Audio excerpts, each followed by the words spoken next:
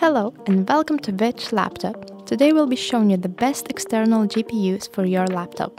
If you have an older gaming laptop but still want to be able to run modern games, you just need to get an external GPU. It is an external laptop upgrade that acts as a plug-in graphics card for your laptop to provide further graphical processing power replacing your internal GPU. We did a research and picked some of the best external GPUs for you. Links to all the products can be found in the description box below. The first product is Asus ROG XG. The exterior is outstanding and RGB lighting makes the product look very high-end. Inside you will find a high-quality 600 watt power supply and on the back you will see a variety of ports.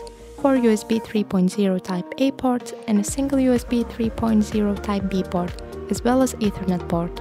It is very expensive and only supports 2.5 slot graphic card, so if you have a 2.7 card, you will need to look at a different eGPU.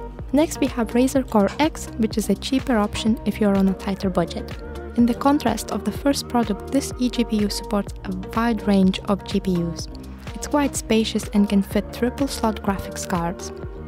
Also, it comes with a 650 watt power supply unit, which is more than enough to handle the newer gaming graphics cards. The design of Razer Core X is very clean and simple, and you can get it in black or white. It only has a single Thunderbolt 3 port and has no extra ports, but it's still a really good product that is worth the money. So there you have it guys, our recommendations for the best external GPUs for your laptop. Please check out the links to these fantastic products down below. Don't forget to hit the like button and subscribe so we can meet in our next video.